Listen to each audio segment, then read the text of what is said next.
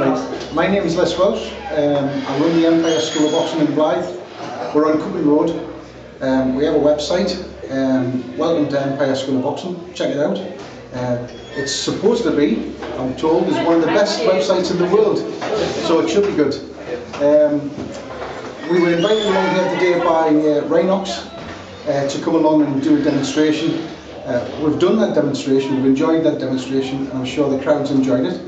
Uh, the kids definitely enjoyed it. Um, I think it's a really good idea that Rhinox has brought this together today, uh, invited all different teams to come along and show the youth in the area what, what can be uh, achieved just by doing a little bit of practice on a three nights a week, for instance, within the boxing club.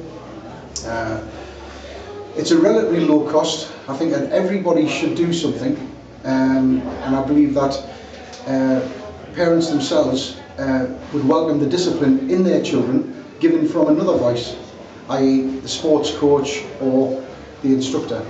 So my name is Les Welsh, I've thoroughly enjoyed the day and I'll see you again.